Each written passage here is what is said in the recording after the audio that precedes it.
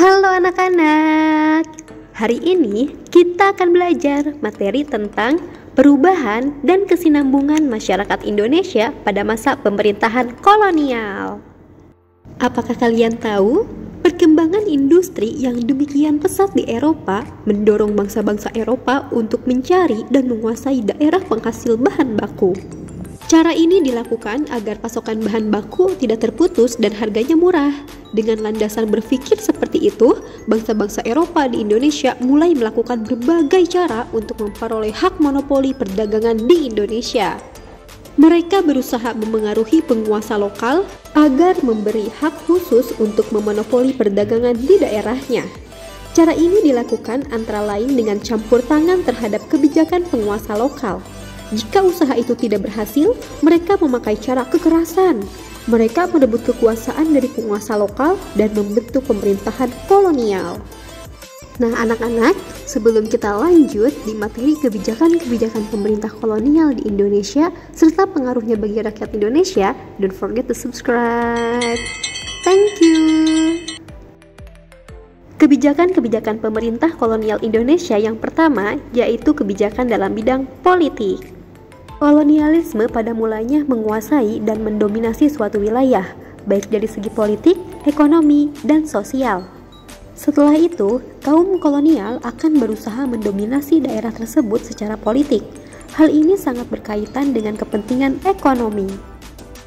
Kaum kolonial tidak ingin kepentingan ekonomi mereka diganggu oleh kebijakan penguasa atau politisi lokal.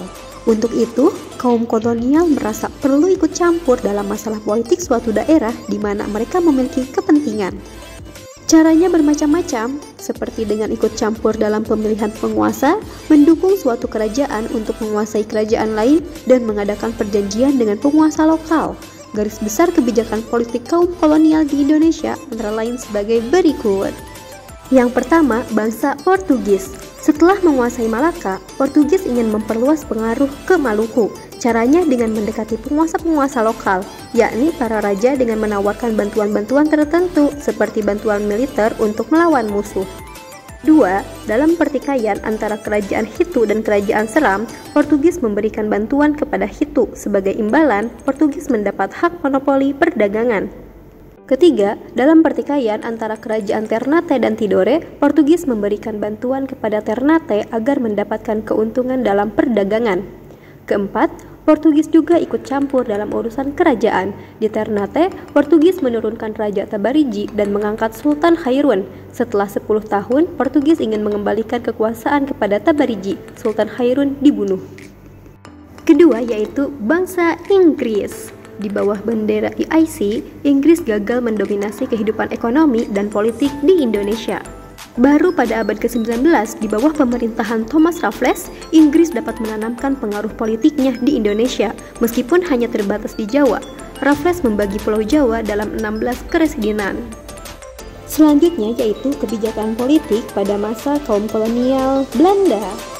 Yang pertama, perluasan pengaruh politik dilakukan VOC dengan mengadakan perjanjian-perjanjian yang mengikat. Perjanjian dilakukan dengan penguasa setempat, antar penguasa atau salah satu penguasa kemudian meminta bantuan VOC, atau antara VOC dan Serikat Dagang Eropa lainnya. Kedua, di Maluku, VOC mengadakan perjanjian dengan kerajaan Hitu dan Ternate yang memberi hak monopoli kepada VOC. Ketiga, di Jawa, VOC berhasil menguasai kota Jayakarta pada tahun 1619 dengan menyingkirkan kerajaan Banten. VOC menjadikan kota ini sebagai salah satu tempat yang penting di Asia, tempat untuk memonopoli perdagangan di Jawa bagian barat. VOC juga berhasil memaksa penguasa Mataram Islam untuk menandatangani perjanjian Giyanti pada tahun 1755. Dan di Sulawesi, VOC berhasil memaksa penguasa kerajaan Goa untuk menandatangani perjanjian Bongaya. Nah, anak-anak, selanjutnya yaitu kebijakan dalam bidang ekonomi. Seiring dengan perkembangan industri di Eropa, kebutuhan akan bahan baku seperti rempah-rempah pun semakin meningkat. Oleh karena itu, serikat-serikat dagang Eropa yang bertugas memasok bahan baku merasa perlu memonopoli perdagangan di suatu wilayah. Dengan demikian, pasokan bahan baku tidak terputus dan harganya murah, sehingga bangsa barat dapat memonopoli perdagangan. Garis besar kebijakan ekonomi pemerintah kolonial di Indonesia dalam kurun waktu abad ke-16 sampai abad ke-17 antara lain sebagai berikut. Yang pertama yaitu bangsa Portugis. Di Maluku, Portugis menjalin kerjasama dengan kerajaan Ternate sehingga Portugis memperoleh hak istimewa untuk memonopoli perdagangan rempah-rempah. Dan Portugis juga berhasil memonopoli perdagangan lada di Samudra Pasai, Aceh, dan Minangkabau, Sumatera Barat. Selanjutnya yaitu bangsa Inggris. Kebijakan dalam bidang ekonomi bangsa Inggris yaitu kegiatan ekonominya dilakukan oleh Serikat Dagang East India Company atau EIC. Mereka berhasil menjalin perdagangan dengan beberapa kerajaan seperti Kesultanan Aceh, Kerajaan Banjar, dan Goa. Namun, mereka gagal memonopoli perdagangan karena terlalu memaksakan aturan-aturan, sehingga tidak mendapat dukungan penguasa setempat. Selain itu, mereka kalah bersaing dengan armada dagang lain, khususnya armada dagang Belanda. Ketiga yaitu kebijakan dalam bidang ekonomi oleh kolonial Belanda. Yang pertama, kegiatan ekonomi dilakukan oleh Serikat Dagang VOC yang pertama kali berpusat di Ambon, di bawah gubernur jenderal pertamanya, yaitu Peter Bot. VOC berhasil menguasai perdagangan rempah-rempah di Maluku. Kedua, VOC membatasi tanaman rempah-rempah di Maluku agar produksi tidak meningkat. VOC ingin harga rempah-rempah di Eropa tetap tinggi. Ketiga, pada 31 Mei 1619, VOC berhasil menaklukkan Jayakarta. Sejak itu pula, VOC mengubah nama Jayakarta menjadi Batavia. Keempat, dari Batavia, VOC terus memperluas pengaruh ekonominya ke seluruh Jawa, serta wilayah lain seperti Sulawesi, Sumatera, dan Kalimantan. Kelima, VOC melakukan monopoli lada di Banten setelah berhasil menjatuhkan Sultan Ageng Tirtayasa. Keenam, VOC menerapkan tanam paksa atau kultur stelsel di beberapa daerah yang dikuasai, seperti penanaman kopi di Priangan pada pertengahan abad ke-18. Hal ini karena saat itu kopi menjadi minuman kegemaran orang Eropa. Nah, anak-anak, selanjutnya kebijakan yang ketiga yaitu dalam bidang sosial dan budaya. Di bidang sosial dan budaya, kebijakan pemerintah kolonial sangatlah terbatas. Hal ini disebabkan fokus perhatian pemerintah kolonial hanya mengeruh kekayaan Indonesia sebanyak-banyaknya. Kalaupun ada kebijakan dalam bidang sosial budaya, kebijakan itu cenderung mendukung kepentingan ekonomi pemerintah kolonial. Pada masa Raffles, pemerintah kolonial memberi bantuan kepada para ahli pengetahuan seperti Horsfield, Crawford, dan Mackenzie untuk menyelidiki peninggalan sejarah kuno di Indonesia. Pemerintah Raffles juga membantu lembaga-lembaga kebudayaan seperti Bataviash, Genossiak, untuk memajukan kebudayaannya. Di samping itu, Raffles pun menerbitkan buku yang berjudul History of Java pada tahun 1817. Keempat yaitu kebijakan dalam bidang pendidikan. Dalam hal pendidikan, Belanda menerapkan kebijakan atau politik etis. Politik etis atau politik balas budi merupakan suatu pemikiran yang menyatakan bahwa pemerintah kolonial Belanda memegang tanggung jawab moral bagi kesejahteraan pribumi. Pemikiran ini merupakan kritik terhadap politik tanam paksa.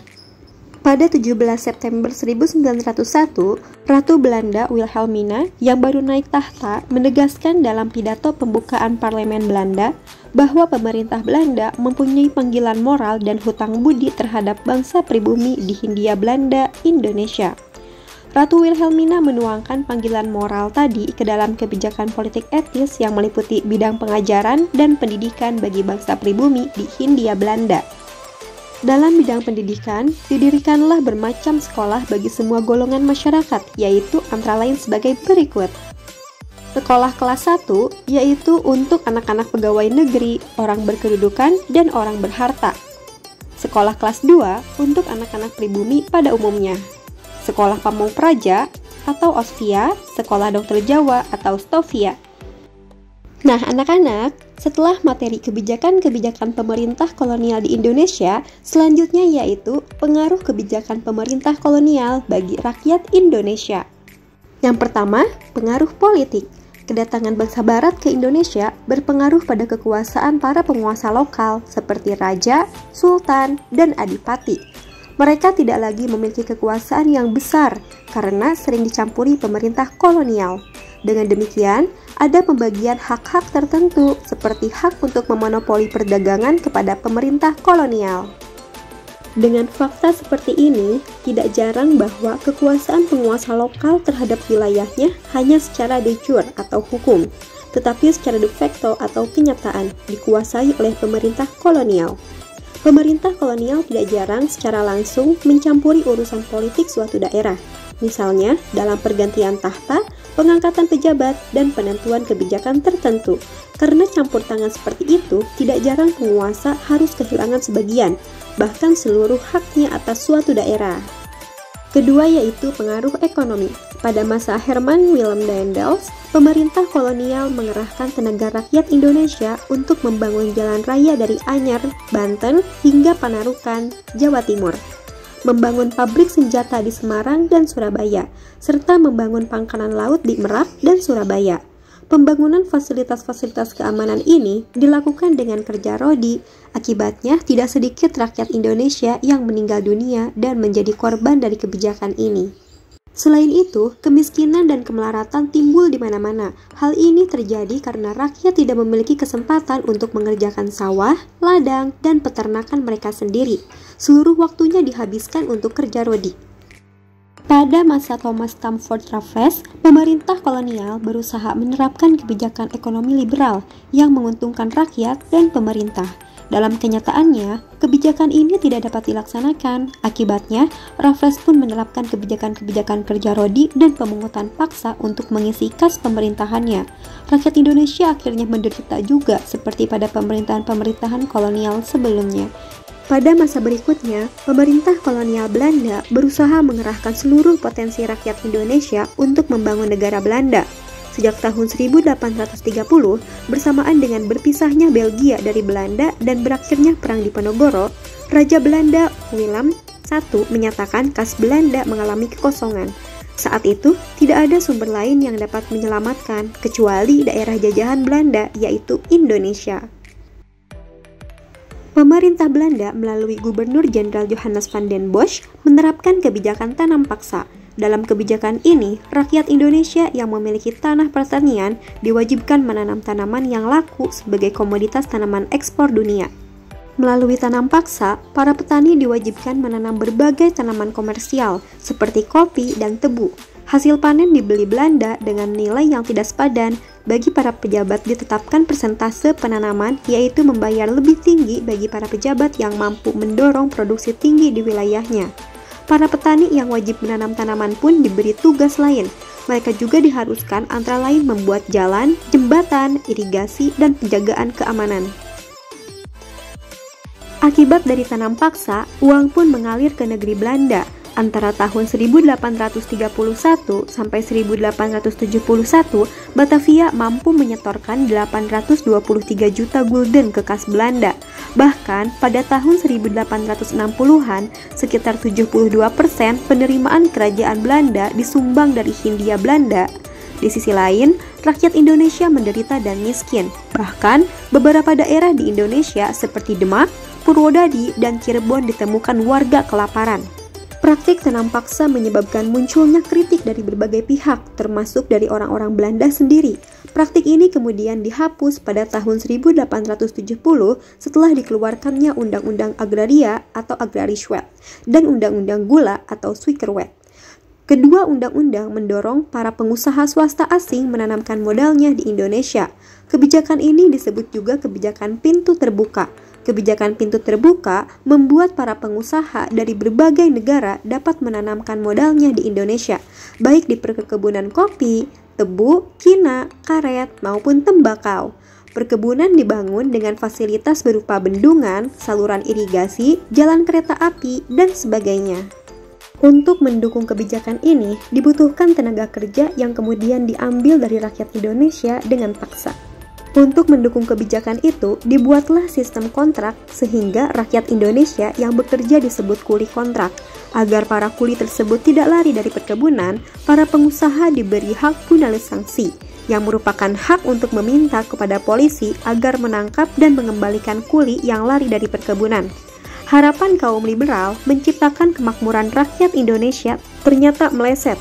Suatu panitia dibentuk oleh pemerintah Hindia Belanda untuk menyelidiki kehidupan bangsa Indonesia. Berdasarkan hasil penelitian itu, diperoleh data bahwa kebanyakan masyarakat Indonesia, khususnya di Jawa, hidup dalam kemiskinan. Nah, anak-anak, setelah pengaruh politik dan ekonomi, yang ketiga yaitu pengaruh sosial. Dalam masyarakat muncul kelompok masyarakat berdasarkan golongan, yakni kelompok masyarakat Eropa, masyarakat Timur Asing, yaitu Tionghoa, India, dan Arab, dan masyarakat pribumi. Berikut ialah gambaran piramida masyarakat berdasarkan golongan. Keempat yaitu pengaruh terhadap kehidupan budaya. Bangsa Barat memiliki kebiasaan dan tradisi tersendiri. Kedatangan mereka berpengaruh pada budaya lokal. Muncul berbagai tradisi Barat yang kemudian berkembang dalam masyarakat pribumi, khususnya di kalangan bangsawan, seperti tradisi dansa. Selain itu, banyak tradisi kerajaan lokal yang luntur setelah campur tangan Belanda.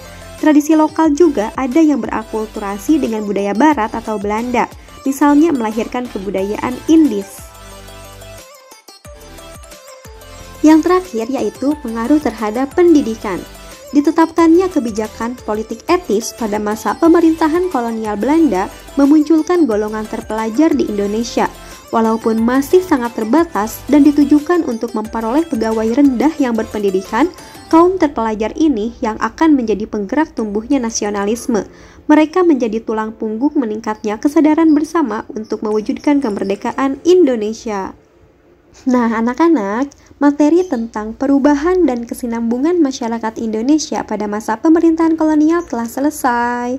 Semoga bermanfaat ya. Thank you. Don't forget to subscribe.